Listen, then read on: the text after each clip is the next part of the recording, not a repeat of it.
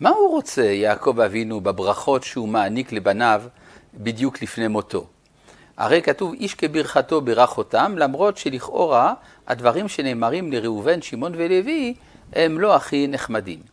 רבנו יצחק אברבנאל מסביר שכוונתו של יעקב הייתה להסביר לבניו מי מבין כולם ראוי למלכות. מי הוא זה שיכול להנהיג מבחינה פוליטית. וזה מסביר את כל הברכות כולן. ראובן פחז כמים. אדם שאין לו סבלנות איננו יכול לנהל פוליטיקה. פוליטיקה דורש סבלנות. מה עם שמעון ולוי? שמעון ולוי הם קנאים. קנאים דתיים, קנאות יכולה מדי פעם להיות לתועלת בזמנים מאוד מיוחדים בהיסטוריה. אבל להשתמש בקנאות כל הזמן כדי להנהיג מדינה, גם זה לא ילך. מה עם זבולון?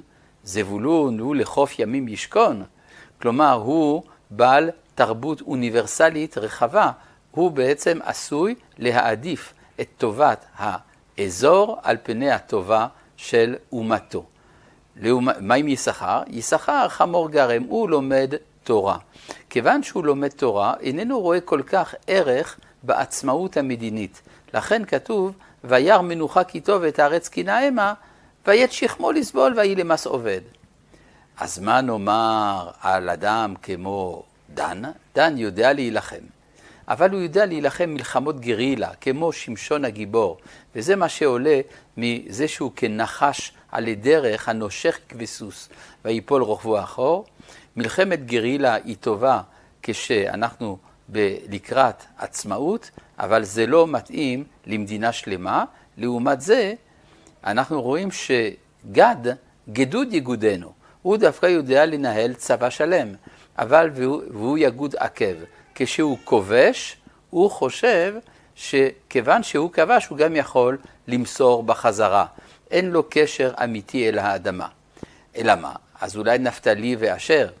נפתלי נותן אמרי שפר, הוא יכול להיות שר חינוך, שר אומנות, שר תרבות, ואשר יכול להיות שר כלכלה, והוא ייתן מעדני מלך. אבל הוא לא יכול לראות את התמונה הכללית, לכן הם לא יכולים להנהיג את המדינה. מה עם יוסף? יוסף אדרבה, כתוב שהוא ותשב באיתן קשתו, והוא נזיר רחב, אבל הוא לא מושך אהדה. ויסתמוהו ורובו ויסתמוהו בעלי חיצים. ולכן יוסף איננו יכול, דווקא מפני היחידיות, האצילות שלו, איננו מתאים להנהיג את האומה. מה עם בנימין? בבוקר יאכל עד, לערב יחלק שלל. הוא יודע למלוך בתחילת המלכות, כמו שאול, הוא יודע למלוך באחרית המלכות, כמו אסתר ומרדכי, אבל הוא לא יכול להמשיך את הרצף ההיסטורי. מה עם יהודה? יהודה, גור, אריה, יהודה. הוא קודם כל גור, אחרי זה אריה, אחרי זה כלביא. הוא מכיר את הסוד של הקמעה קמעה, הסבלנות בפוליטיקה, ולכן הוא מושך אהדה, אתה יודוך אחיך. הוא הראוי למלוך.